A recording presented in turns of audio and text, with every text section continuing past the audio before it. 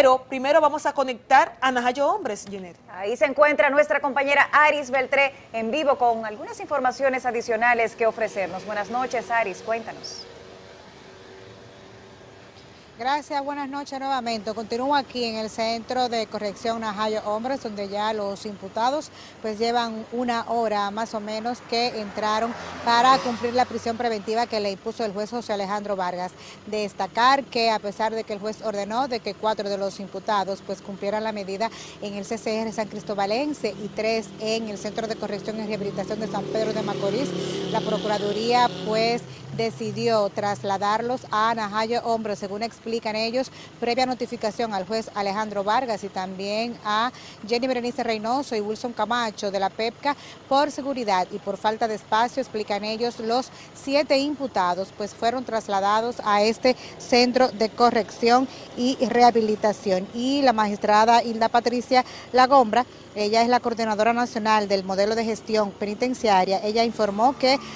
previo a tomar esta decisión y hacerlo trasladado, el juez Alejandro Vargas tenía conocimiento, así como también, como bien le dije, Jenny Berenice. La investigación del Ministerio Público que desarticuló la red de corrupción sustentada en un entramado de compañías de carpetas controladas por Juan Alessio Medina, eh, asegura el Ministerio Público y permitió que el juez Alejandro Vargas dictara pues la prisión preventiva. En esta cárcel de Najayo entonces se encuentran eh, Alexis Medina, quien es hermano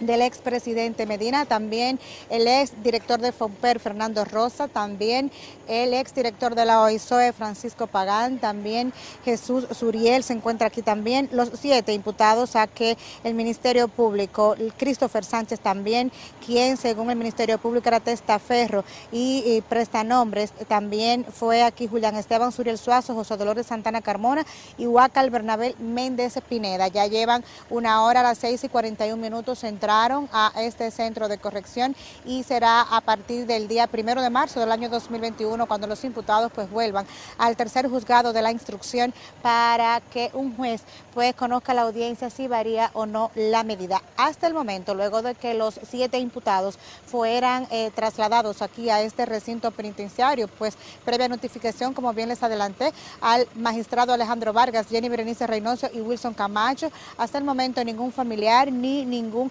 representante legal de esto se ha presentado por aquí. No obstante, decirle a todos ustedes que este recorrido que nosotros presentamos en vivo a través de Noticias SIN se hizo bajo estrictas medidas de seguridad reforzada, mucha seguridad que acompañaba el vehículo que transportaba a estos imputados y nosotros por supuesto que a las 10 de la noche le vamos a tener los detalles ampliados para que puedan conocer todo el proceso desde las 5 y 40 de la tarde que salieron del Palacio de Justicia de Ciudad Nueva hasta aquí, hasta San Cristóbal. Esta es toda la información que tengo. Ahora yo paso con usted a los estudios. Aris, muchísimas gracias por esos detalles actualizados en vivo desde la cárcel de Najayo, donde permanecerán esta noche los siete imputados con medida de coerción de prisión preventiva del caso de la operación Antipulpo.